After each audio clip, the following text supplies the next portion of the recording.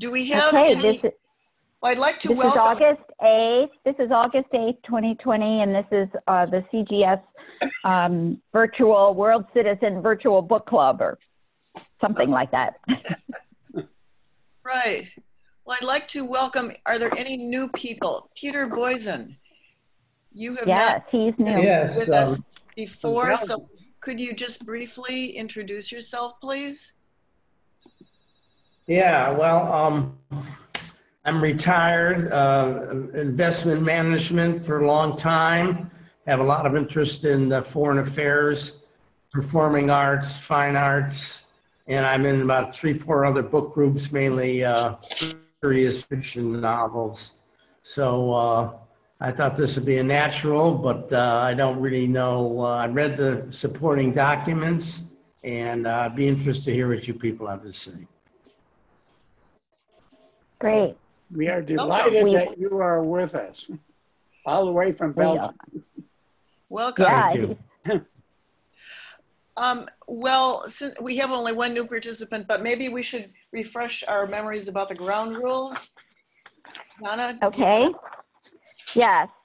Um, and do you want to first step through the agenda for the day, and then I'll do the ground rules, or do you want me Oh, to do sure. ground rules first? Okay, okay, so the agenda will be to um, discuss the questions that were submitted in advance. Um, There were more of them than we probably can deal with, but uh, we thought we would start with three questions from three different people, and then um, we will open it for other questions. That, that's pertaining, you know, focusing on chapter nine. And then we'll also have um, about 15 minutes for general comments on Ron's book. That is, you know, kind of an integrated, well, now that we've had time to reflect on the book as a whole, including chapter nine, um, are there comments about that? And then there'll be a few announcements at the end. Okay, great. So um, as a refresher of the ground rules, um, our tradition is when you want to uh, stack, you either raise your hand in the video screen like that, or um, at the bottom of the screen, there is a, a um, or, or no, I guess it's from the participant window. If you click participants, there is a way to raise your hand. Unfortunately, I can't do it because I'm a host and they don't let hosts raise their hands. So I don't know. Um, if you're on the phone or if I don't seem to see you or call on you, just yell out your name followed by the word stack. So that's how we do that. Um, uh, please try to hold your questions or comments to two minutes. Gail will be keeping time and let you know when you have 30 seconds left, and then again let you know when your time is up and you can finish your sentence, but we ask that you um, try to do that. Um, people who haven't spoken or asked questions will be given priority over those who have. Um, we will try to monitor late arrivals because of the the uh, reality of Zoom bombing these days. We want to make sure we know everybody who's joining. So if all of a sudden I interrupt what's going on to ask somebody to identify themselves, you'll know I'm not just being rude. I'm just trying to be careful. Um, the chat window can be used to communicate among yourselves, but Gail and I are not monitoring it during the call in order to identify questions or anything. So if you have something to say, you're, you have to speak up, but feel free to use chat if you like to chat. And we are recording the meeting. If anybody wants to say something off the record and doesn't want it recorded, just say so. We'll pause the recording recording for you. Okay, and welcome to Simon S- Simonian, who has Simon. joined us. Thank you. Thank you. Simon, would you like to introduce yourself briefly? yes, I'm uh, Simon Simonian, and uh, I'm a, uh, a uh, respected surgeon, scientist, educator, and uh, uh, spiritual uh, a, uh, a evolutionary leader. Uh, and, uh, and I'm now working on, uh, like we, we all are, on a kind of a, a world union, uh, if we can, and eventually world federation. And where are you geographically? in Pacific Palisades in uh, In California. California. California, Pacific part of, uh, part of the uh, uh, uh, Los Angeles County, near on the ocean, close to Santa Monica, Los Angeles County, and so on. in Pacific Palisades, between Malibu and Santa Monica and Los Angeles. Tough place to be, gosh.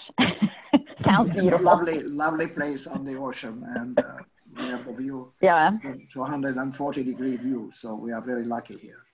Mm. Okay, so I think we're ready to then get started with our questions. So I'm going to facilitate this and Gail will keep time. Um, as Gail mentioned, um, well, she and I reviewed the questions that had been set, uh, submitted ahead of time and we picked three. Ron. Isn't Chuck Woolery also new? Oh, hi, Chuck. Oh, we know Chuck. but maybe Chuck you're new to book club. Are you new to book club, Chuck? Is this your first book club? I think I- Oh, Oh, well, oh, wait, wait, no, I did send a recommendation. No, I am new to it. Yeah. okay. Glad to have you with us. We are. You want to, you can just say where you're from for those who don't know you and, Uh, I'm, I'm uh, in Rockville, Maryland, just outside the hub of uh, Ground Zero.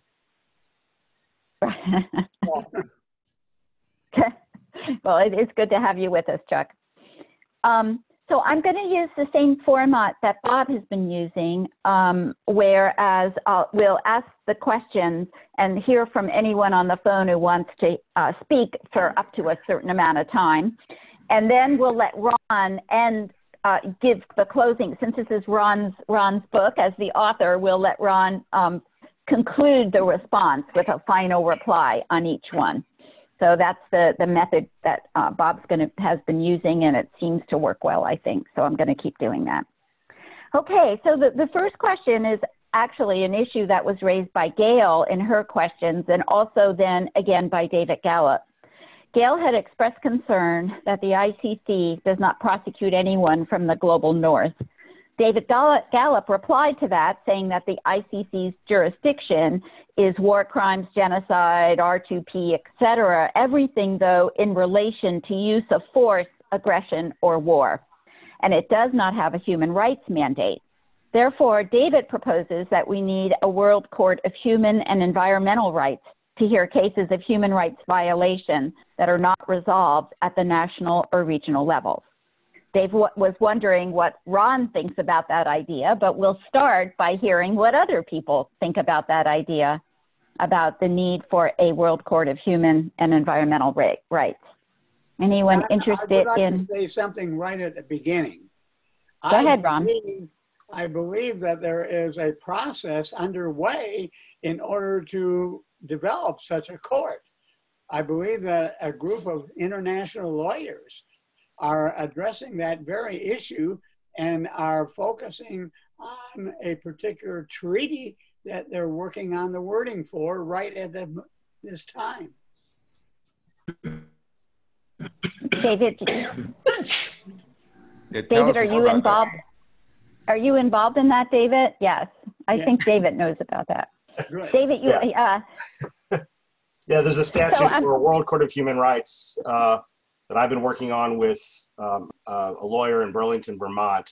And the chief justices at the um, Chief Justice Conference that occurs in Lucknow, India, every year have unanimously agreed that we should have a World Court of Human Rights. So we're trying to build a coalition for a World Court of Human Rights, but it doesn't exist yet. Uh, and there is pushback against it, and that's why I wanted Ron to maybe elaborate his thoughts about about whether or not we're ready for a World Court of Human Rights, or why maybe now's not the time to to be proposing this. Well, that's one group. I was talking about a different group that is involved in the same effort to develop a treaty about human rights. Leila Sadat at Washington Treaty. University in St. Louis is very much involved with that. Hmm. I haven't kept up exactly on where they are right now, but I know that they're getting close to having a treaty that they're ready to put out to national governments. but Ron, this is a treaty. Like what, with all due respect, what good is a treaty um, without a court to back it up, right? Yes. I mean, we Well- don't agree to treaties. We don't always enforce exactly treaties. right, And it's a difference between, yeah, two different approaches. One is going through the treaty route. The other is more direct at establishing the court directly. So what Leila Sadat and others are working on is the treaty, not a court. Is that what you're saying? Well, yes, but it's very relevant to the court because it defines the, what you're talking about. what are the rights? Mhm. And what are the rights that the national governments will recognize? So does anyone else have any thoughts about, about the need for a court to, um, to protect universal human rights? Uh, Arthur has his finger up. Arthur, I see. Arthur's, I see Arthur's hand, and then Simon, were you trying to get, or just telling me Arthur's hand is up? Thank you. I was just trying to let you know about Arthur. Okay, and then I see Peter's hand too. Thanks. Okay, Arthur. Oh, thanks for, for noticing for me. Appreciate that, Simon. Um, you know, the key thing is there's incredible movement happening with treaties like that one. And the treaty on the prohibition of nuclear weapons is actually very, very close in terms of actually having, not only does it have, uh, uh, not only have, mo- uh, have the vast majority of nations on the world signed it, but now enough have ratified it that's just about to be official international law. Now, the question is, how do you have a court that enforces it? And I think here we really have to start giving serious thought to what Gary said about, you know, and, and what and what David is working on this court. I think we need a court that has bottom up enforcement.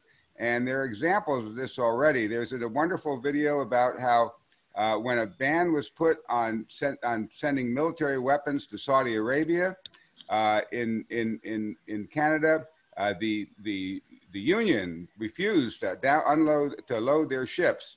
Uh, if, if people refuse, if, if the unions refuse to lo- uh, load the ships for violators, if people scan products in the store and don't buy any products that come from companies that are dealing with them, if, if you know, we the people have incredible power. We are the superpower, and the only way we're going to get enforcement, and it says it, it's not. This isn't new.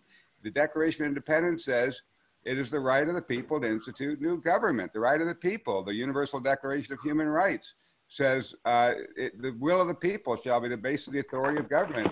And we keep hoping that somehow governments are going to create this court that's going to enfor- enforce our rights and take care of preventing nuclear weapons. We, the people, have to do it. It says it right there. Almost every constitution says it's based on we, the people. And that's why I think Gary's point that we, the people, just have to go ahead and create the way to enforce international law. I mean, it is in the US Constitution. Treaties are the supreme law of the land.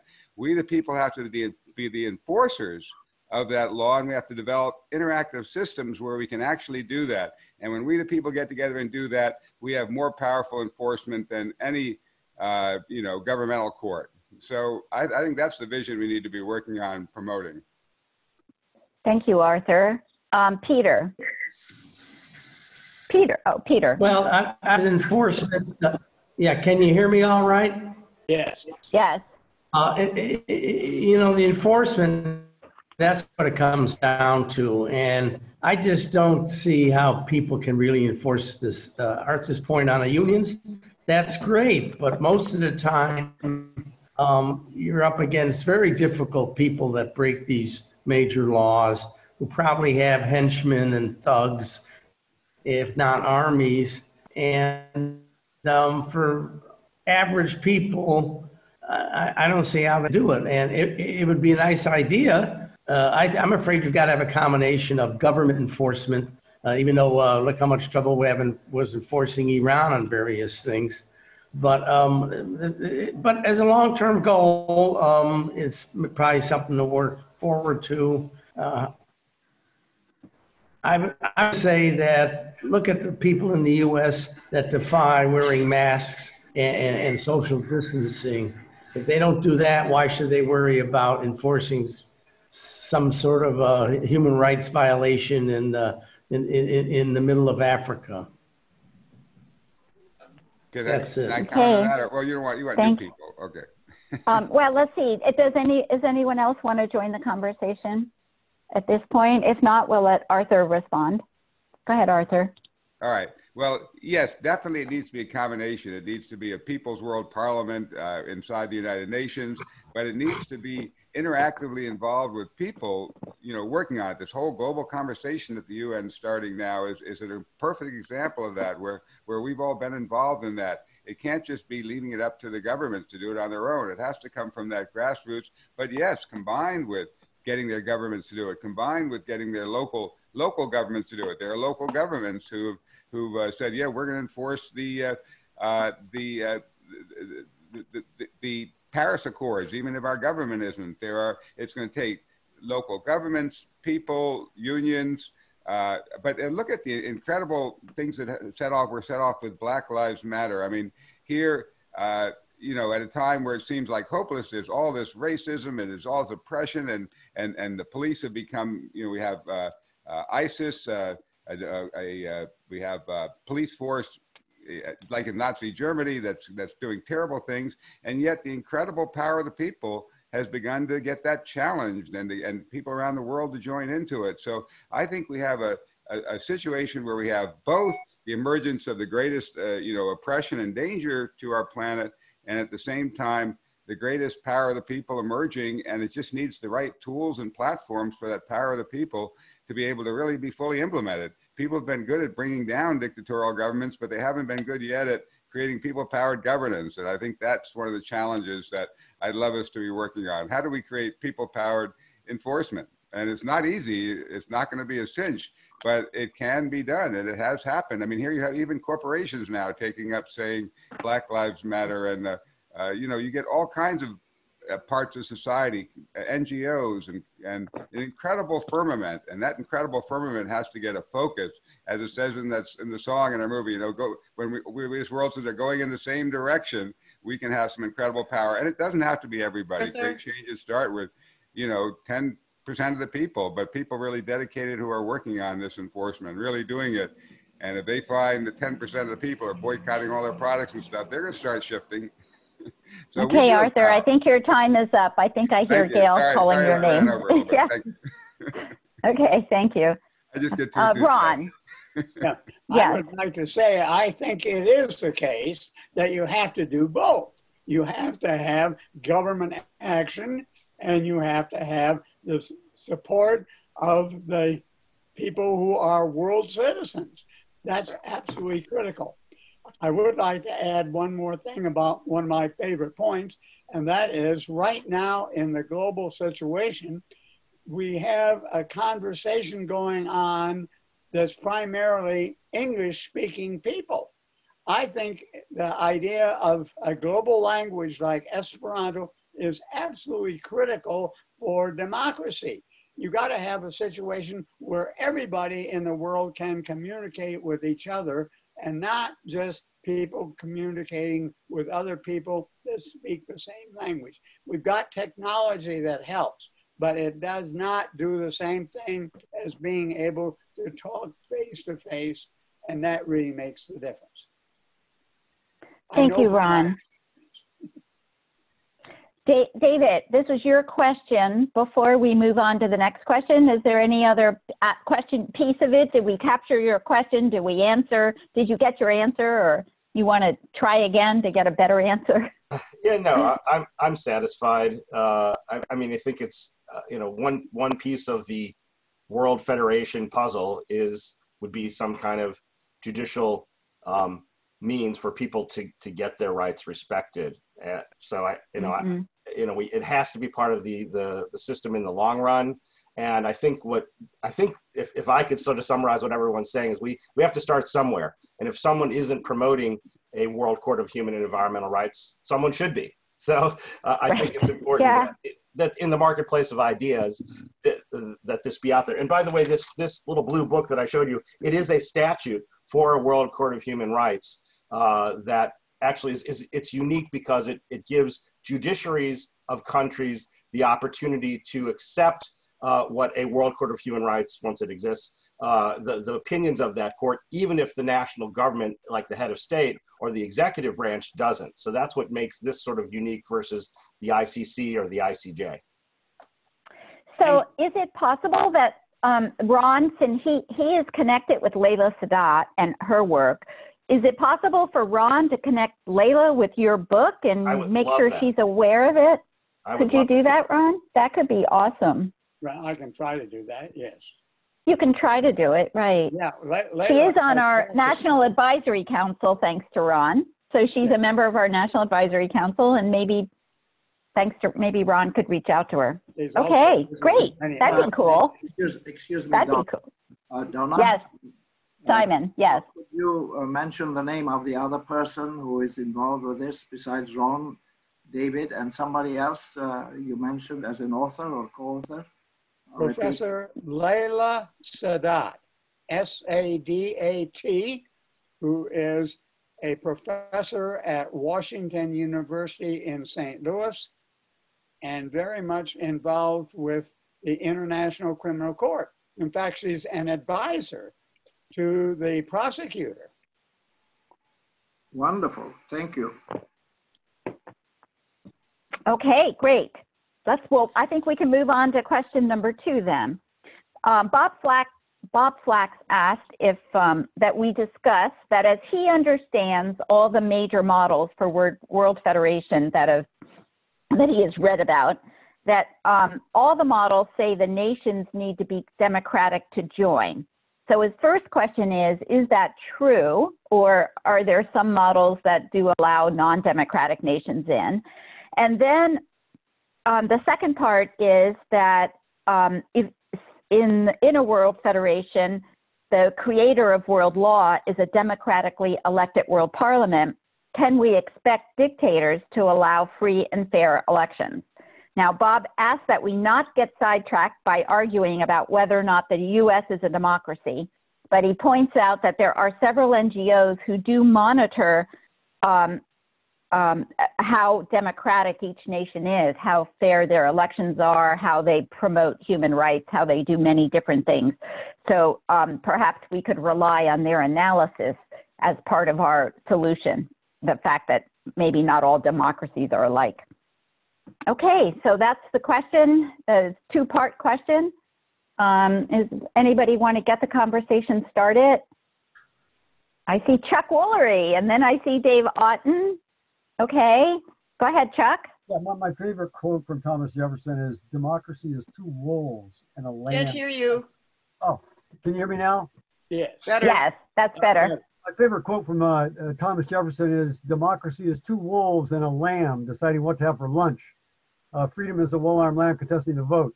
I, I've collected literally dozens, maybe over a hundred quotes for, for over the last 2,000 years that show that democracy is not work. That the idea that we, we our optimism about democracy and people knowing what they really want is not what they really need. You know, we got Trump elected.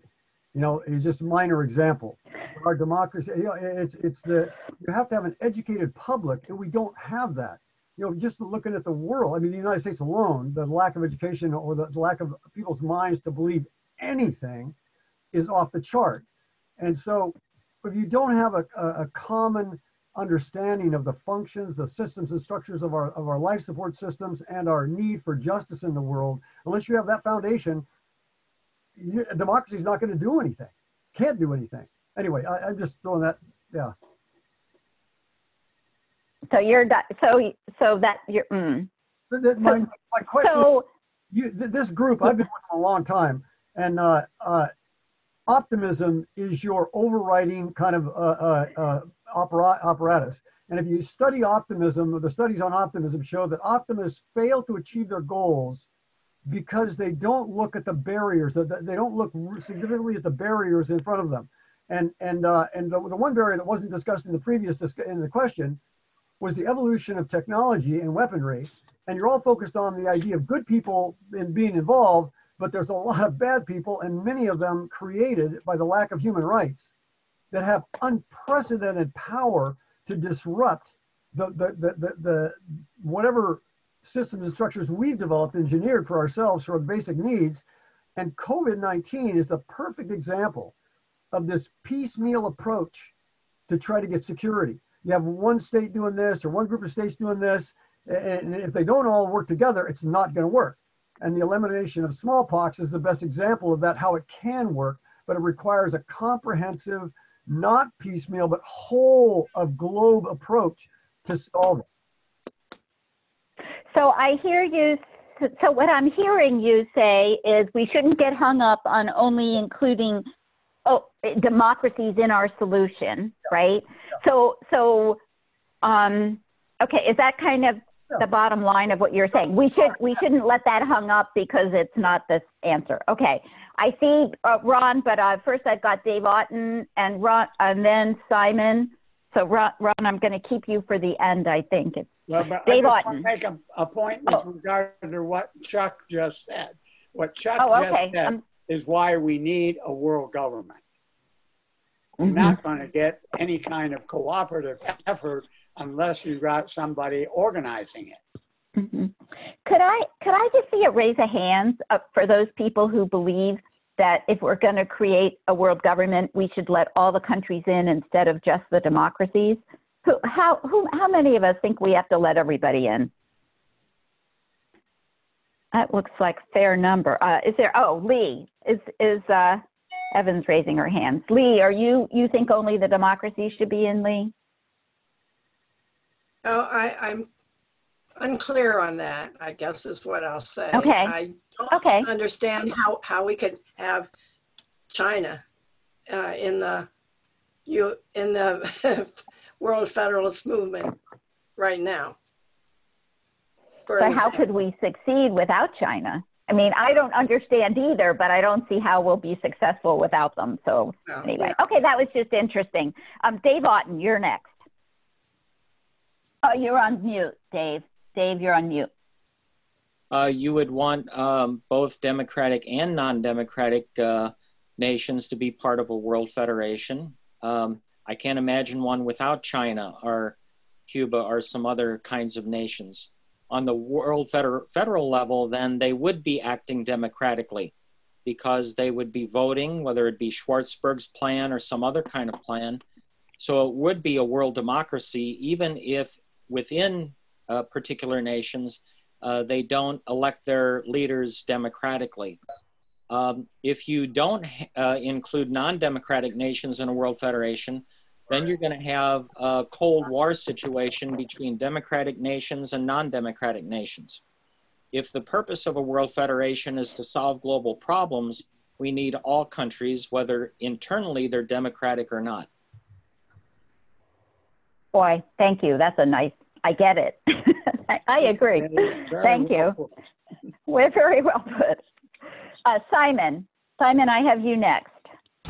Um, I agree with uh, what uh, um, uh, Chuck uh, Woolery said, as well as what David Out- said, uh, because it, the, the smallpox was given as an example. And I was uh, involved with the eradication of smallpox in that I helped to make that vaccine uh, in the University of London uh, in the 19, early 1950s. It was freeze dried and uh, heat stable, and it could be uh, active for one year. And uh, but that vaccine did not work in England by itself uh, for the world. Uh, it only was uh, um, when the World Health Organization in Geneva took it up, and then wanted to make it uh, globally working what happened was it was the Cold War 1967. The Soviet Union decided to join the uh, democratic countries of the United States in a solidarity, in a solidarity. So both democratic and non-democratic came together, and then it gave power and ability for the World Health Organization to mobilize the whole world uh, to be vaccinated in different countries, uh, the tropics, the poor countries, the rich countries, South America, Asia, and uh, the last case of smallpox, which had been killing 4 million people each year for many, more than 2,000 years. The last case of smallpox was in Somalia, East Africa, in a cook who had been vaccinated from a cook, uh, had mild disease and survived. Since then, we have zero cases of smallpox. Smallpox has been eradicated from the surface of the planet and it's looked upon as the most major achievement in the history of medicine and public health. And as we said, it's solidarity of democratic, non-democratic, which makes the world come together as one for a common enemy. and do it successfully. And we haven't got there with COVID-19 yet. Thank you, Simon. That was really interesting. Thanks for flushing out what Chuck Woolery already had in his head, and now the rest of us understand better. Thanks. Um, Ron, uh, did I see your hand? Well, Go ahead, Ron. Yeah, I want to congratulate Simon for being involved with that. I do want to add that another important part of that whole effort was the work of non-governmental organizations like the Rotarians. They were very Hmm. important in spreading that smallpox. That's polio.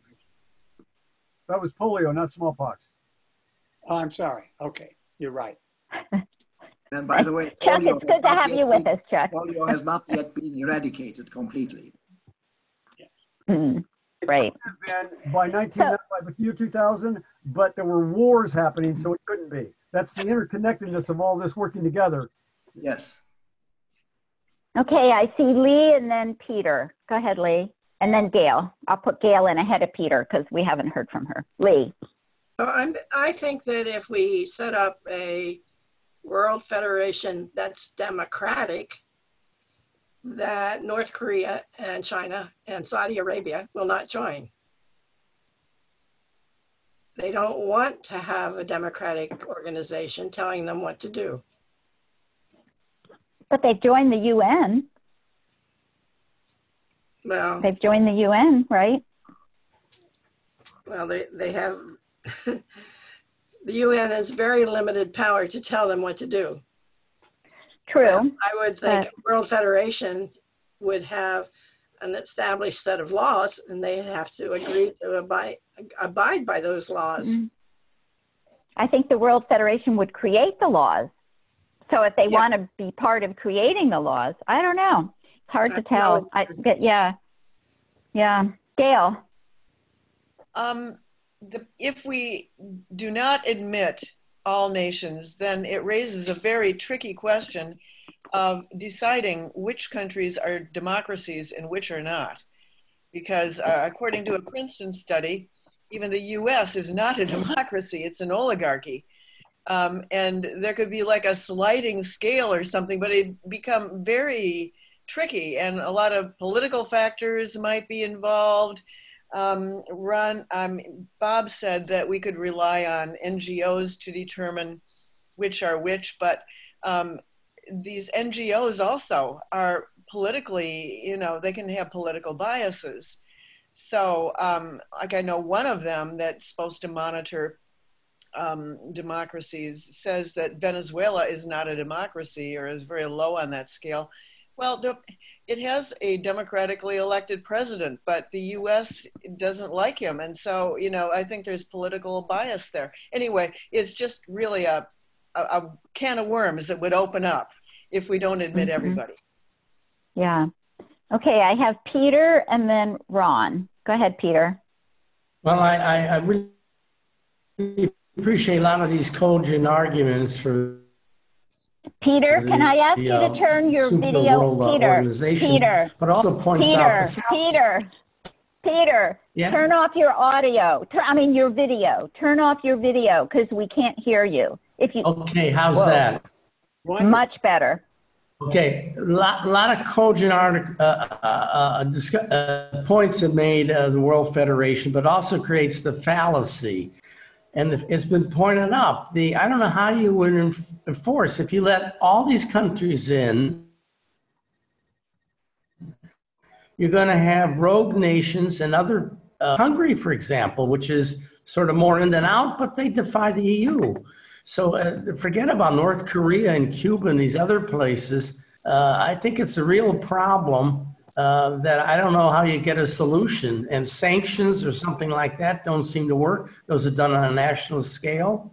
Um, be nice to enlist um, various um, individuals from, say, China and some of these other countries, but there's not freedom of expression often, uh, even with the modern technology in these countries. So I don't know how you reach them. It'd be a great effort, but uh, I really see uh, insurmountable obstacles.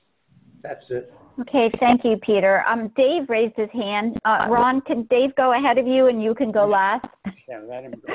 Go ahead, Dave Otten. I just Oh, wanted and to, Dave Gallup. I wanted to respond to Peter that the whole idea of World Federation is to hold individuals accountable to what world laws rather than governments. So that's how enforcement would take place, where those who violate world laws, even if they're national leaders, would be held responsible and could be prosecuted. So that's how enforcement could take place, how it would be different under the current United Nations system. And thank you, Dave. David Gallup? Yeah, I mean, this whole conversation is focused on letting the governments, you know, join or, or the leadership of governments, but we've sort of forgotten about the people. I think that's why Garry Davis wanted to circumvent that national leadership, which could oft, oftentimes be um, totalitarian or whatever, and go right to the people and register people as world citizens. So people, the, the, the population, I mean, I would think the majority, maybe I'm wrong, but maybe the majority of the population in China would not necessarily agree with just what their government's doing, and they might come to this idea or support an idea like World Federation or, or see themselves as world citizens separately from the idea of the government being included. So I, I guess the point is going to the people, not necessarily the government, to create our World Federation. So I think that sort of brings us back to the second part of Bob Flack's question is do we think we can expect dictators to let us get to their people um, in order to enroll them as world citizens? I see Ron raising his hand. Go ahead, Ron. Yeah, I just want to make the point again that we can talk about degrees of democracy. We don't have to talk about yes or no. And so what we want to do is promote as much democracy as possible. I totally agree that you don't want to, on your end, exclude other governments. If they want to exclude themselves, that's a different issue. Okay, thank you. All right, any other comments on this topic? We're ready to turn on to question three, I guess. Um, our third question came from Gail. And she pointed out that in chapter nine, Ron includes an analysis of the European Union as sort of a, back then when he wrote it, as a, as a, well, even now, a test case about the viability of a world federation. And Gail asks, what are the implications of Brexit for world federation?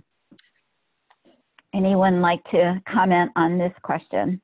That's, that's, Uh, Uh, I see Simon. Go ahead, Simon. um, as, as, as we know, uh, if I'm right in the terminology, uh, the European Union um, is a step uh, before a European federation, in that countries are allowed to have the freedom to exit. Uh, whereas in a federation, I believe, they are not allowed to exit. Once joined, it's permanent. Uh, just like the, uh, you know, we call our country, the United States, a federation with 50 states. They can't leave once joined. Uh, but the European Union does give you the freedom to exit. But the beauty of the European Union, perhaps another term might be a confeder- on confederation, is that it's a start for people to come together and uh, experience the benefits of coming together uh, from their sovereign states uh, to a, uh, a, unit of uh, supranational uh, laws and supranational laws that they have to obey and give up their sovereign state laws, which is a step towards a federation. So it's a step uh, on the journey. Uh, and it's been really uh, a very successful experiment in, in the history of, of, of the world, the European Union, from 45, 1945, after the end of the Second World War, until now, there's been no wars. They have had peace. Okay, thank you, Simon. Um, I saw Peter and Ron. Um, go ahead, go ahead, Peter. Again, you might want to turn your Um, video. Yeah, thank you. good- Thank you. It, it is off. Um, as, as a good analysis, Simon, the EU does have a carrot and a stick. It's called withholding funds. They have an enormous common pool of money that they siphon out of the, uh, of the, of the members, and they can withhold some of that. Doesn't always were. They're trying to police uh, Poland and Hungary right now. On Brexit, in my opinion, a really dumb move by England, but they really want um, a lot of the goodies that the EU has, not in terms of money, but uh, positive things, without having to really pay for them. It's like um, have your cake and eat it. So uh, even withdrawal, uh, in that case, that, that they, they see some desirable aspects of the EU. Deal's not done yet. Uh, we're waiting to see, but um, I think that's the whole problem. Is you you you have to deal with uh, states even though you want to have the people responsible, the state has so much control, it's very difficult to, to see how that conflict's resolved, although maybe technology can do it. Thank you. Thank you, Peter. Um, Ron, I think we have to realize that the movement from a confederation to a federation is a very, very difficult kind of move to make, including for our own country. We, after all, did have a civil war. And as Abraham Lincoln pointed out, the whole idea of the Civil War was to preserve the Union. And with regard to the name European Union, the people who worked on that wanted to have a federation. For them, union meant federation but they didn't go all the way in terms of excluding people from leaving the Union. Just like in the United States, the Southern states could argue that they were not completely clear when they formed the, when they joined the United States, that it meant that they couldn't secede. I mean, it, the idea of moving from a confederation to a federation is a gradual evolutionary process.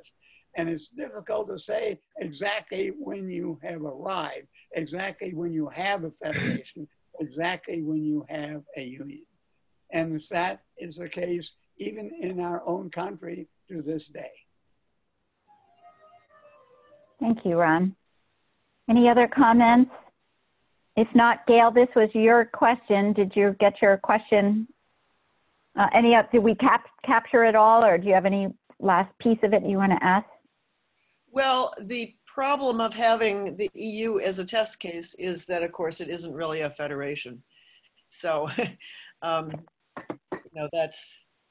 But we do have, Right. We have the African Union. We have the Union of South American Countries. Again, they use that name because their goal is to have a federation. Mm. Is that the goal of the EU, do you think, to have a federation? The people who established it, yes, that was their aim. Interesting. I didn't know that. hmm Do you There are, think- you know, there are those young people, the young European Federalists. There's even, right, aren't there, there's a large group of your, young European Federalists who are trying to, who want the U- Union to federalize too, or federate, or whatever the verb is. Yes. do you- do Go through the process to the end. Do you think that there's been strides toward more, uh, toward a federation in the EU or away from it, or what do you? Well, what- right you- now, it seems to be away from it, partly because of what goes on in Britain, partly because of what goes on in Hungary. Um, that they're in the process of making the move from a confederation to a federation. It's not something, you know, it's, it's a little bit like individual human beings. Exactly when do they become adults?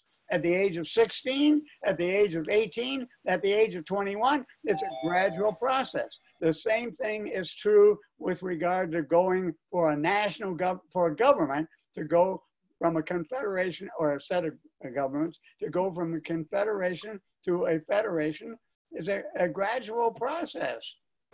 It doesn't happen in one instant, in, in a, a moment.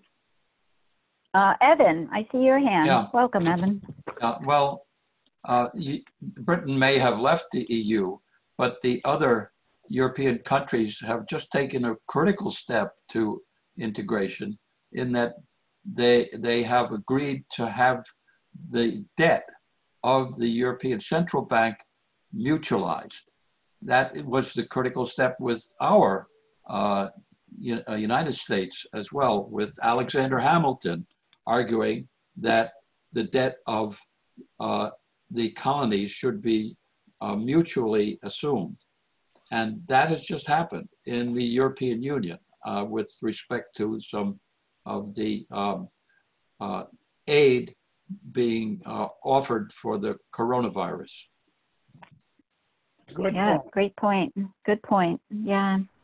Okay, excellent. Thank you, everyone. So those are the three questions Gail and I picked from the uh, initially submitted ones. We thought at this point we'd open it up to the people on the call to um, to let uh, you ask a question now to anyone. And if not, we have more in our back pocket. But um, but Dave, Dave Otten, I see you first. Uh, you're on mute. Don't forget. Ron, you wrote chapter nine, seven years after finishing your book in 1993. Um, I'm wondering what a chapter 10 would have looked like. Uh, about events from the year 2000 to 2020. That's good. I'm not ready to, on the spur of the moment, answer that kind of question. Uh, as a matter of fact, you know, um, the that ninth chapter that I wrote, that was right when I was getting ready to retire. And since I've retired, I'm just not in that academic atmosphere anymore. Uh, I understand your personal keep up on everything. That's why I'm your... so grateful to have this group discussing these things. Some of the people on this call are much better informed than I am about specific things that have been going on globally and within the European Union, with, within the African Union. I'm, I'm not up on all these things. I understand your personal situation, but just uh, brainstorming, if you would have had a chapter 10, yeah. Um, would you have used the pandemic, of course, as an argument for World Federation? I would have added it on, but I still think that the critical problem for the global community is the anarchy that we have at the global level. I think you have to have a government to control a community. And if you don't do that, you are regularly going to have breaking apart again. Mm-hmm. Even after you have government, you have the problem of breaking apart again. Mm. Okay, thank you. Peter. Uh, so on a time scale, when do some of these participants think you'd have a, World Federation where, say, a thousand people from around the globe would be meeting and discussing things at some neutral site? It's hard to say what site. Is it something like 2030? Is it 2100? Uh, give us some idea of time horizon. Well, Peter, I can tell you this. I'll start and then I'll have Ron correct me. Is that um, Citizens for Global Solutions is a group that that primarily believes we should work to transform the United Nations into a federation. And we've, uh, the, in fact, the first book that we read as a book club was Joe Schwartzberg's book, Transforming the UN System Designs for a Workable World. And, um, and he had some really concrete steps, like 18 of them, or I don't know the number anymore, a lot of them, um, that, would, that could be taken on the road. Um, so, um, so that, that there are other groups of world federalists who prefer other approaches, but that is the approach that we have incorporated in our roadmap to change. Um, also, recently at our board meeting, we just had a discussion as to whether or not we want to boldly, we want to join Andreas Bummel, who is actually, well, no, he's, I don't, I guess he's German. I was going to say he's in Belgium. Maybe he's in Belgium. Anyway, where you are, but um, who has his Democracy Without Borders has boldly said that their aim is is a world federation by in 25 years by 2045, the 100th anniversary of the UN. And we've had a discussion among ourselves as to whether we want to be so so bold, Chuck Woolery, us and our optimism, right? but anyway, that's so that's my answer. I'll turn it over to Ron, who's Well, a I would scholar. say that trying to set a particular date is not feasible. I mean, when you're talking about evolution, even look, when you look back at the United States, when did the United States become a federation? Was it when we adopted the Constitution, or was it after the Civil War? Or even now, is it still the case that the United States has a federation that's going to continue as a federation? It's a matter, you know, again, going back to the individual, when does an individual become an adult? When are they no longer a child? When does a girl become a woman? When does a boy become a man? Those, those kinds of questions. You can't set some particular date there. And it's an evolution that takes place gradually. And the same is true of the process of moving from a confederation to a federation. And perhaps with that answer, you can see Professor Glossop was a professor of philosophy. Sounds like a very philosophical response, too. Uh, Gail, oh, and Gail and then Chuck. Uh, Ron's response reminded me of um, an earlier book that we discussed by Juncker, Evolutionary World Federation. So I guess um, his response maybe um, gives a plug for that hypothesis as being a, a possibility. I just wanted to make that Mhm, comment. mhm. Yeah, good comment, Gail. Thanks. Chuck. Well, I'm going to stay on the theme of evolution. Uh, as a biologist, I have a little, little credit on that. Um, but I really want to temper your optimism on the timeline that uh, if you look at the evolution of technology, and I mentioned this before, that is it is exponential and off the chart, incapable. Our minds are our pl- places in minds are incapable of understanding the implications of it, and the world is now evidence of that. But um, uh, if you look at the number, the first chapter in the book of warnings, and, and it was a book I proposed to this group, and I still propose that you read it because it really puts you much more up to date on, on what the global issues are and the, the chaos that was mentioned. The first issue in the, in the chapter, the set of chapters of the warnings that we're not listening to was AI, artificial intelligence. Now, I have a fantasy, uh, a science fiction book where AI does what Dave Otten suggested and decides to hold individuals accountable for their crimes. That that would be the best approach or the most likely approach to, to, to a world government, a justified world government with AI in charge. Uh, that it will gain wisdom before we do as a species. Uh, but uh, the evolution of weaponry in, in terms of AI, the competition between nations, whoever gets that first, it looks like China is going to, is going to dominate economically, uh, militarily, uh, maybe politically, globally. And uh, so that is a profound, and that was the first chapter. The second chapter in warnings was warning about pandemics. Nailed that one. Uh, so the, the rest of them are all included too, which you want to, which you'll want to read. But they will, will will kind of damper the optimism you have, but put urgency into what you're doing because you know I I don't have to warn people about them pandemics anymore. That's off my chart now. But uh, for the most part, you know, things didn't work out so well, and they're still not gonna. Things are gonna get a lot worse before they get better. and it's not the only pandemic we're gonna have. They're gonna accelerate with the with the this evolution of technologies, creating eight, eight different factors that will accelerate the evolution of pathogens on our planet. Wow. Okay. Welcome to Anisha, who's calling in from India, I believe. Right, Anisha? Nice to have you. Wonderful. Nice Hi. to have you. Nice to meet you all.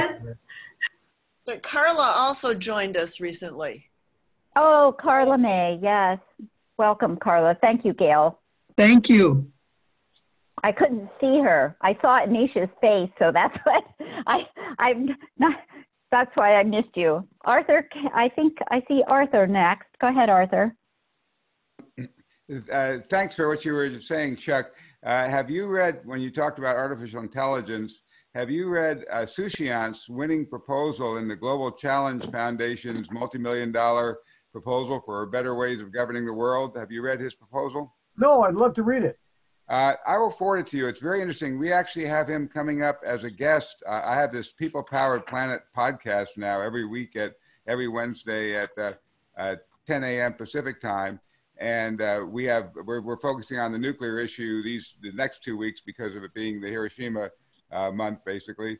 But uh, right after that, we have Sushant on, and he has an incredible proposal for bottom-up global democracy growing out of uh, AI assisted. Now, AI is very scary. It's uh, the, the, the risks of it, but at the same time, if you're going to, if you are going to uh, amalgamate the vast will of the people, you are going to need something like AI to bring together all the best and best, what, what Gary called the highest and best wisdom of humanity.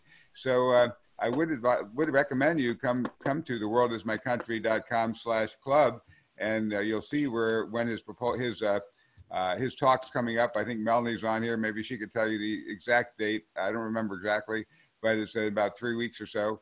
Uh, and if you'd like, I can email you. Email me arthurkanegis at gmail.com. I have that right on the screen here.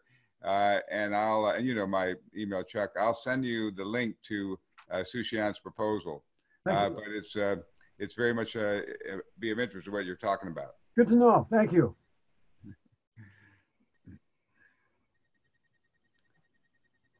Okay, I see that um, Barrett was asking what book was Chuck was talking about, and it was called The Book of Warnings. Is that the book you were talking about, Chuck? No, the Book of Warnings. Uh, it's called uh, Warnings. Uh, I think you're trying to get it by Richard Clarke, and it's uh, 2017. Uh, the, the Cassandra effect. Basically, people, uh, experts who are warning about things that we didn't listen to and the cost and the consequences of both blood and treasure of our not listening as the first seven or eight chapters. And then the, the, the last eight chapters are things we should be listening to now and not listening to. And the middle chapter is why. Why don't we listen? You know, the first element is the, the personality of the individual or the person giving the warnings. You just don't want to hear from them. The second is the event itself. We just can't imagine that happening. It's just not comprehension. And the third issue is we just don't listen. We have in our mind what we're going to decide, and that's we're just sticking to it regardless of what. So it's it's a profound book that uh, still has more importance than people are giving it. But uh, Richard Clarke is the guy who tracked Osama bin Laden both post, pre and post 9/11, and he doesn't even talk about that one in here. okay, thank you. And I see Melanie put in the chat for those of you who might be interested, August 26th is the date that um, of the presentation Arthur was talking about at the world is my country dot club slash club. The world is my country club or something. okay. Um, any other, oh, Ron.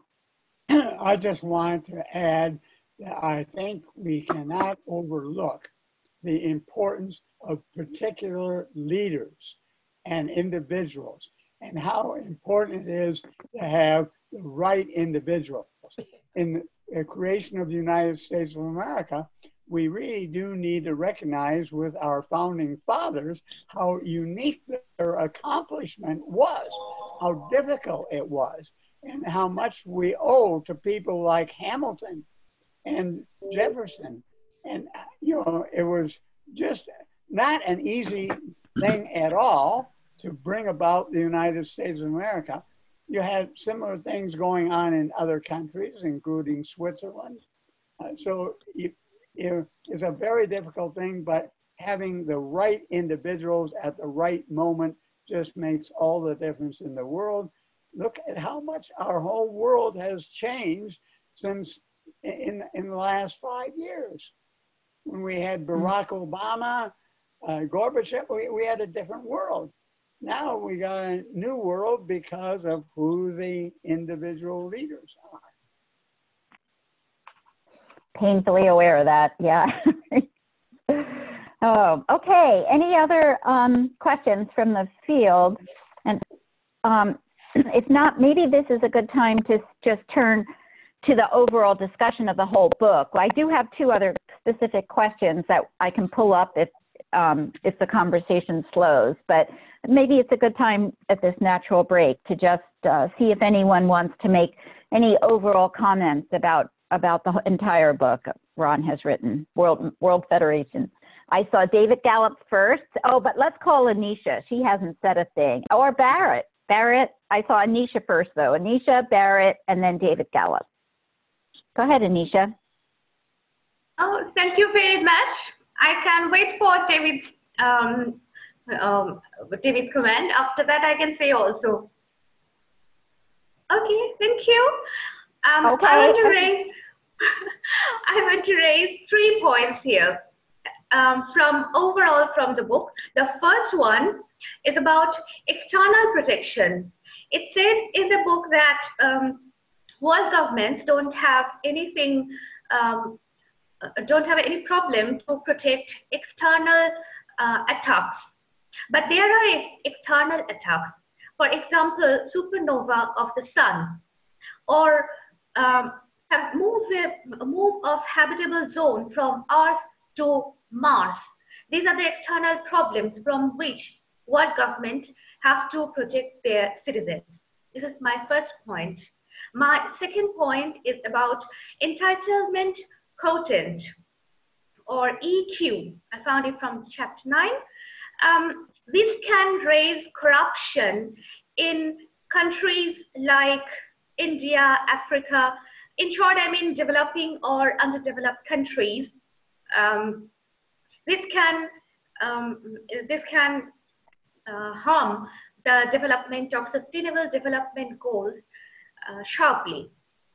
Final point about which I want to say that European Union, we are going to create one umbrella-like organization uh, which will, uh, following the system of European Union. One thing we have to consider that European countries are interested to be one. But when we are considering the whole world, there may be some countries who don't want to join as one world. So that's a problem. That's not only problem for disarmament, joining as one world, that's a problem. So that's all. Okay, thank you, Anisha. Um, Barrett.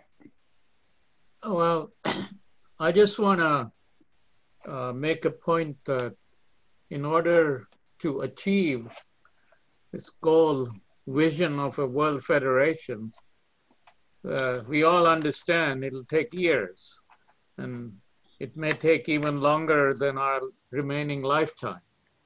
So really the uh, people, the humanity that would be participant to an actual world, one world, would be the people who are young today. The, the younger communities, even people in kindergarten and junior high school and high school. So one needs to kind of develop strategies and a, a game plan to have them to think at their level the idea of they are members of this global community and they are inheriting uh, the earth which covers all of us and perhaps that may be the beginning of uh, ways in which people's prejudices, people's biases, and attitudes towards countries, humanities, races may change.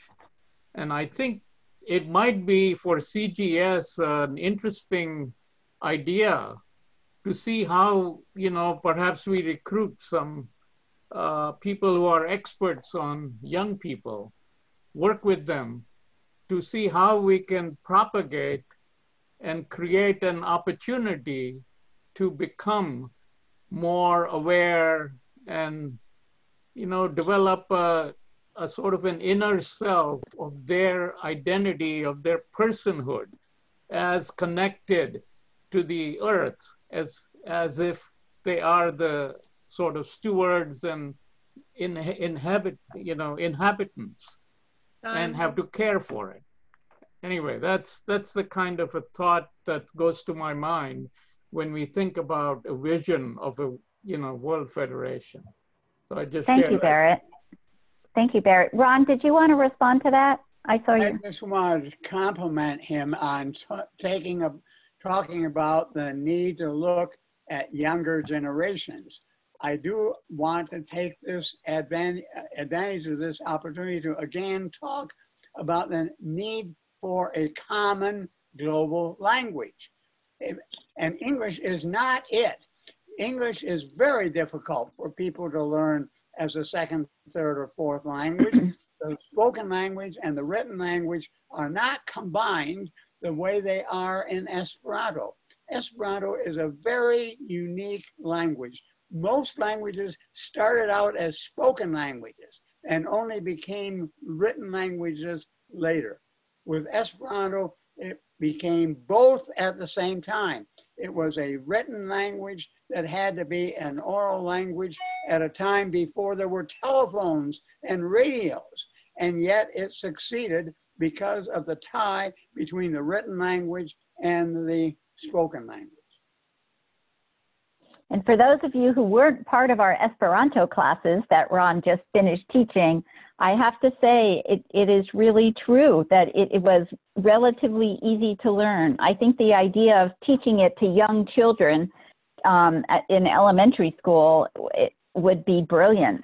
Um, I can't, it's remarkably easy to learn and it's so much more fair than expecting everybody to learn English. I'm sure I've Anisha noted- would agree. As I've noted, in the League of Nations in 1921, the first resolution in the Assembly of the League of Nations was that all the children of the world should be taught Esperanto. And it was killed because in the League of Nations, everything had to be unanimous. And France said, oh, we already have a global language, French. We don't need Esperanto. Now, unfortunately, many English speaking people would argue the same thing today mistakenly. We do need a global language that's not English, and we have, have to have a neutral language that's designed to be easy to learn and designed to be neutral. Okay, I, let's see, I have, uh, I have Dave Gallup, Gail, and Dave Otten. Is there anyone else who wants to get in the queue? Okay, David Gallup. Well, I'm just, maybe I want to wait on my question because I, I don't, I feel like maybe um, Anisha's concerns or even Barat haven't been fully resolved because I'm going to take us off to like a different point. Okay, oh, okay. Yeah. Are there, is, is there anyone who wants to address Anisha's or Barrett's comments? Uh, they, Chuck, Yeah, I want to compliment both of them on both of their points. I think they're great points. Uh, number one, there are multiple threats we face, but yet most World Federalists, from my- experience, has been worked on disarmament and uh, and and peace issues rather than looking at human security issues and our freedoms. Which uh, I, I gave a quote, I think, uh, in in the the thing uh, about the ultimate purpose of, of government from Thomas Paine was maximizing freedom and security, and that's really what we need to focus on. And what Bharat was talking about is how we, the disconnect with, that most people have, and particularly us in developed worlds, from the rest of the world or even our own environment, sometimes even our own body. And uh, so getting that things connected to see how we really all interconnect and how we're all interdependent upon one another's health and well-being and mental state is vital. And uh, no, I just want to compliment both, both of them on their comments. thank you, Chuck. Good, good points from all of you. Any other comments on, uh, related to their comments? Barrett? Well, uh, following up Ron, and I agree about this idea of a common language. Uh, I have a project idea, unless it already exists. Is there any kind of a, uh, sort of a early education books on uh, learning uh, Esperanto that could be introduced as an experiment in uh, elementary schools or Well, or junior high school that we could do a kind of a pilot testing in different countries and see how that goes. Could be an interesting experiment. Yes, well, as a matter of fact, there are a number of programs in the internet that you can use to learn Esperanto, uh, in, including now Duolingo, Duolingo Esperanto, and there are also, if you just Google on Esperanto, and you could Google on Esperanto for Children.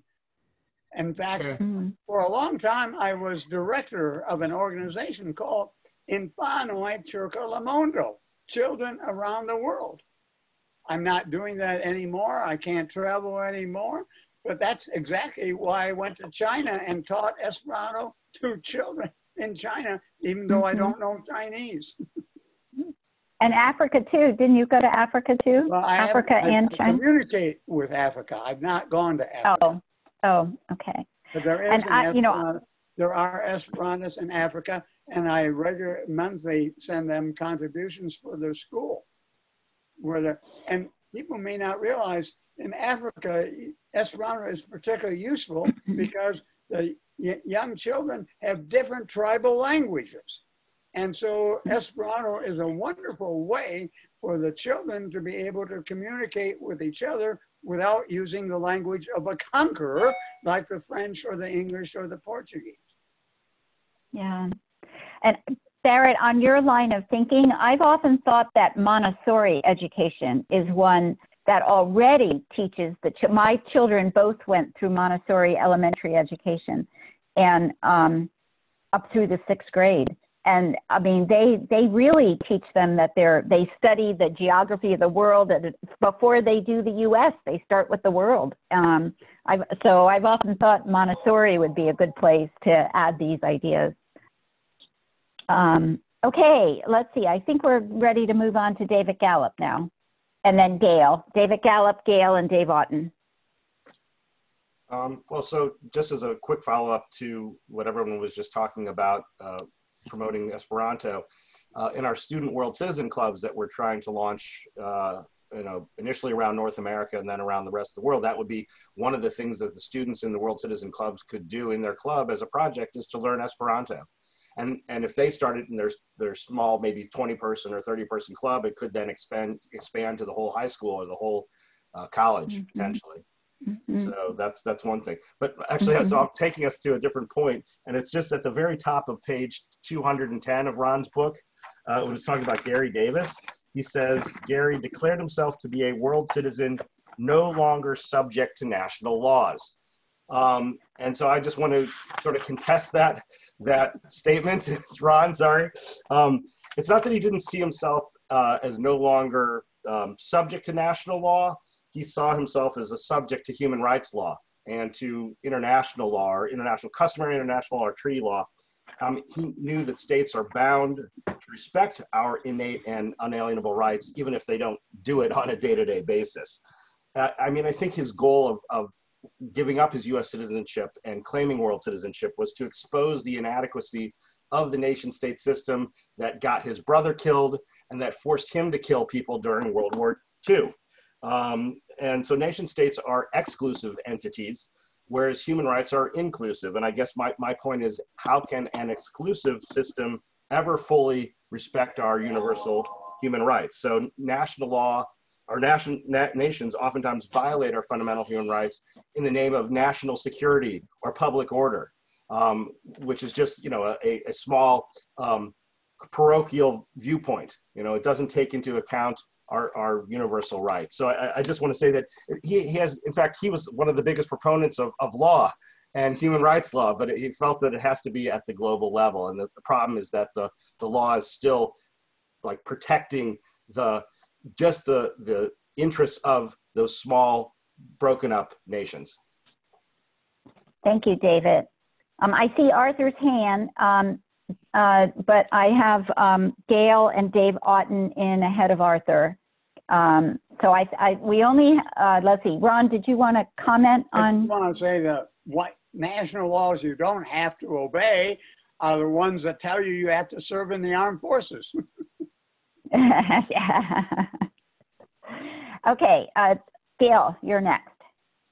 I'd like to And, comment uh, on Ron's book as a whole. Um, Good.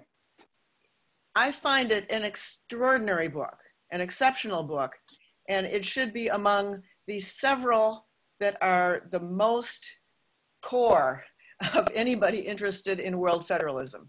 And that's for several reasons. One is that it's very clear and concise. Another thing is that it uses a systems approach to explain how um, nations act to, um, you know, kind of in the, in the context of being rewarded for bad behavior and punished for good behavior, what, you know, desirable behavior for the, the world as a whole. So it, it explains things in a way that takes it out of the good versus bad actors kind of um, paradigm that most people use when they discuss international affairs.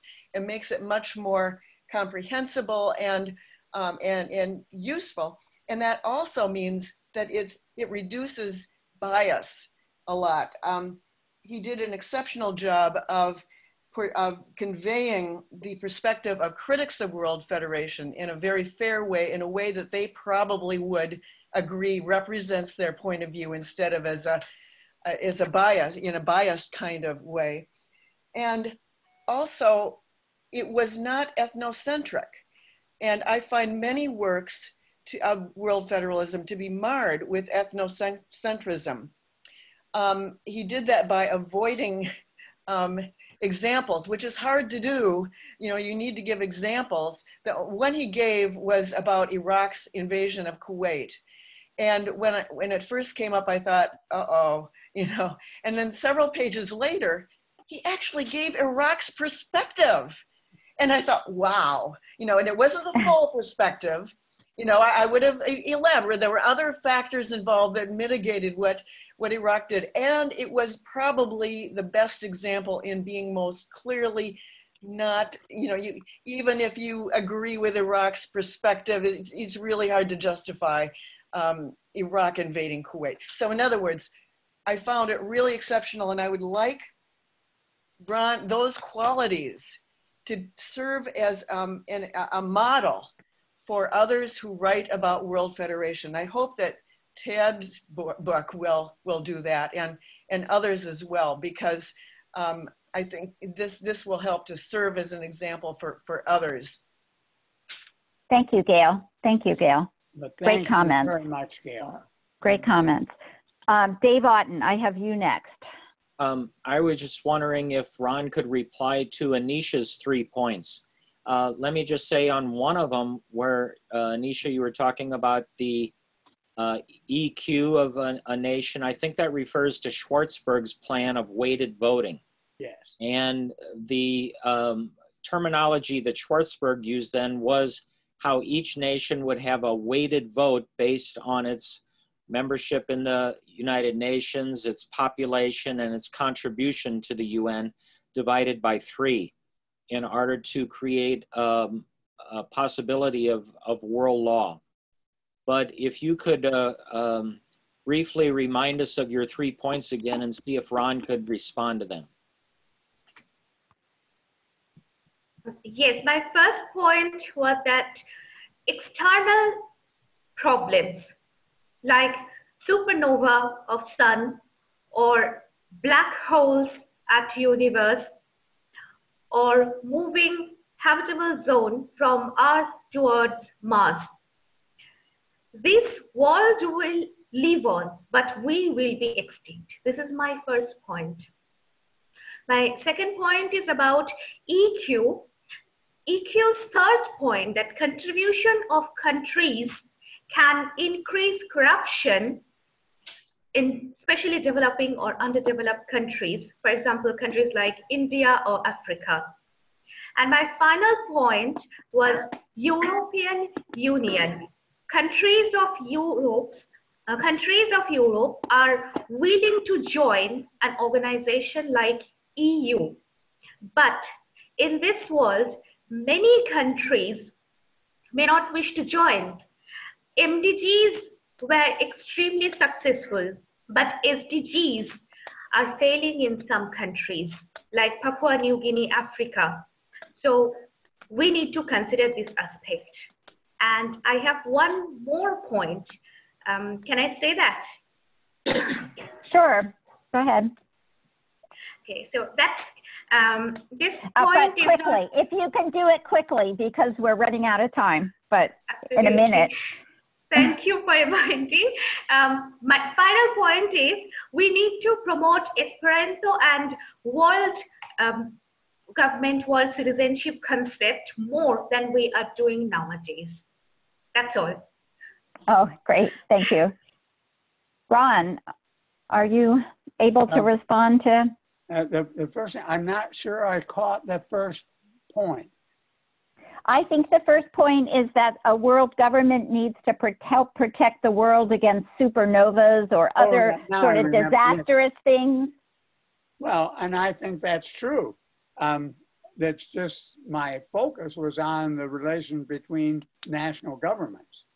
But I think you're right that national governments do need to protect people from natural disasters. I just didn't. Or, or a world government would need to protect people from a world disaster. Yeah. Let's focus on the problem of war. Or prepare us for, have us come together so we can actually, actually make it off the planet before that happens. Yeah, and the, the second point um, on the EQ, the European Union, um, No, the second point was about um, EQ. I, I don't, Yeah. I don't Well- know E EQ. oh, uh, Wait- yeah, okay. weighted And voting. That is in Schwartzberg's book. Weighted voting. Oh, weighted Yeah, voting. weighted Oh, the voting. third character, the amount of money. Are you saying that the amount of money, uh, including the amount of money people pay to the budget, might lead to corruption? Is that what you were saying? Well, I think that's true. Yes. I, in fact, I do point out that that formula would have to be evolved gradually. But in order to get the rich countries to join in the first place, you have to recognize their wealth in order to get them to come in to the organization in the first place. But perhaps it could be something that would be phased out over time.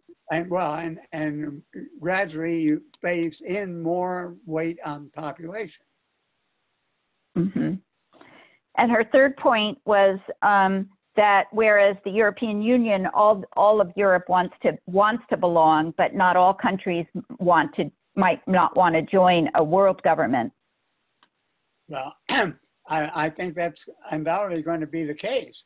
But over time, again, time is very important uh, in, in evolution.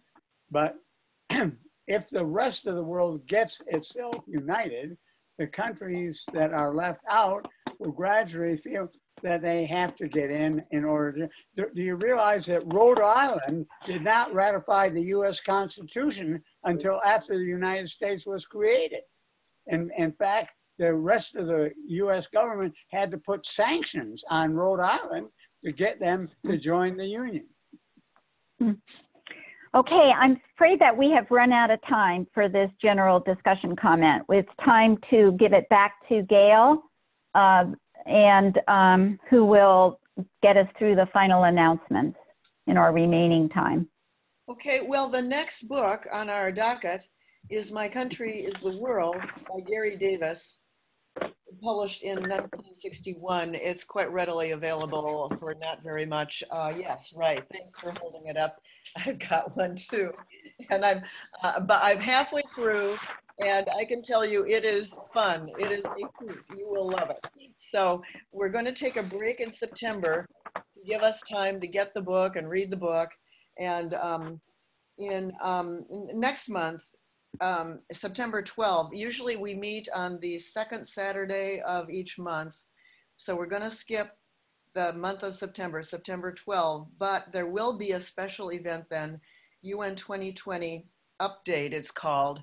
And Donna will tell us about that um, in, in a minute. But first, I want to call on um, David Gallup to say something about My Country is the World, and then Arthur will also briefly tell us about it.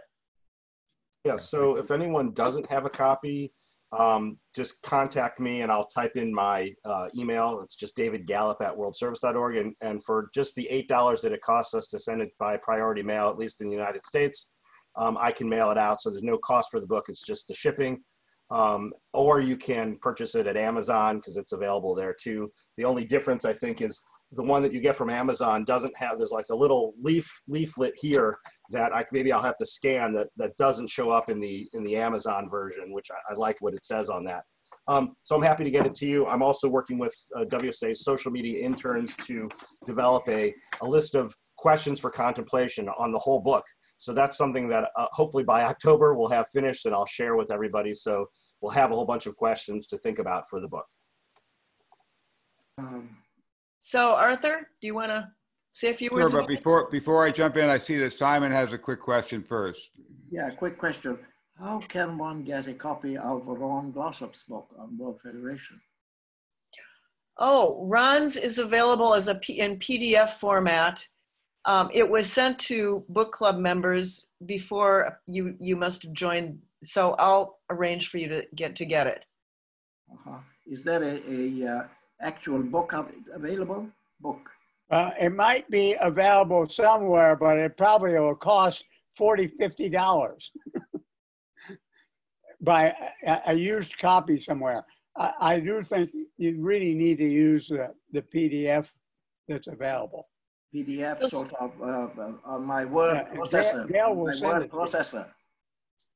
And the PDF is the whole book. Yeah, how, that's many, many pages, right? Of course. It's many pages. Yes. Um, are you on our e-list? Do I have your email address? Yes. We Okay. only, we only have That's three minutes left. I think we have to deal with Simon's question Okay. after the meeting. Let's, Yes. if All he right. stays on, stay on and we'll talk about it, but let's keep mo- moving. Well, I think what uh, Gail's point about Garry's book was very good. That it's an incredibly fun read, uh, and uh, after after you do read that, uh, "My Country Is the World," uh, he's actually written ten books, and uh, uh, and, and the "My Country Is the World" is the one that's mostly mostly a story. It's telling the story of his life, but more of his philosophy is in "World Government Ready or Not," and in numerous other really important books that also have breakthrough stuff that's not said anywhere else. It's really uh, uh, both unusual anecdotes and uh, and facts. So if, if after you finish reading that book and you've got all the way till October, get a few of Garry. Just just Google Garry Davis's books, or David will give them to you. He has a number of other books that you might have fun reading as well. And uh, looking forward to chatting with all of you about it. It, I- it was a book that was so exciting to me. It inspired me to make the movie. I said, you know, I wasn't planning to make a movie on Garry. I just I knew him as the world passport guy. And then I read this book and I said, my God, this is so cinematic. It's just filled with action and drama and so much more than we could put in the movie. I mean, there's incredible stories we had to cut out because the movie's only, you know, uh, we only had a limited amount of time. So you'll have so much more. If you think, oh, I saw the movie, I don't need to read the book. That's not true. You won't. You'll be blown away by all the wonderful stories in the book. So, uh, so have fun. Great. I wanted to Thank you. mention that um, there is a way to donate to Global Solutions. If you go to the globalsolutions.org website and uh, find the donor button, um, we always can, uh, you know, make use of, of funds. So I wanted to make that announcement. And so the next, the date of our next book club meeting, as I say, we're skipping September 12, which is going to be the UN 2020 update. The, the um, session on My Country is the World is going to be Saturday, October 10, which is the second Saturday of October at the usual time, which is noon to 1.30 Eastern time. So make a note of it, get it on your schedule. And um, Donna, you were going to give us a brief synopsis of the UN 2020 up- update event. Well, just one sentence that it will be uh, Jeffrey Huffines, who is senior advisor to both UN 2020 and Together First, will be with us just nine days prior to the opening of the 75th session of the UN General Assembly, giving us updates on, on everything related to UN 2020, Together First, UN 75, and also thoughts about the future. Where do we go from here? And the other thing Bob asked us to share with everyone is CGS is about to um, undertake a redesign of our website. And uh, we'll be looking for, Bob will be looking for people to help write or edit or develop content for the website. And so uh, he just wanted to uh, sort of give you a heads up that he'll be sending out an email looking looking for support. So keep your eye out for that email if you think you can be of help. And I just want to say, Ron, thank you so much for a great book and for a great book club. Gail, thanks for all your work organizing us and keeping us together. And it's it really was an excellent book. I'm so glad we all read it together and could talk about it. Thanks, Ron. Thank you to everyone, especially to you, Donna, and to Gail, but to everyone for helping me to think through more about these issues. And so I'm so happy that you had a chance to read what I had to say about my ideas on these subjects. Now, if Simon wants to stay on, we can continue the discussion about helping him get a copy of the book. But the rest uh, of you Anesha are Anesha asked for information too. So Anesha, if you want to stay on, if you didn't get a copy of the book, you can stay on too